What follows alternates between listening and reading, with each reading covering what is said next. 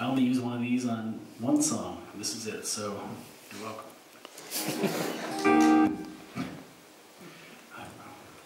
Okay, it's called In with the Purple and Out with the Blue.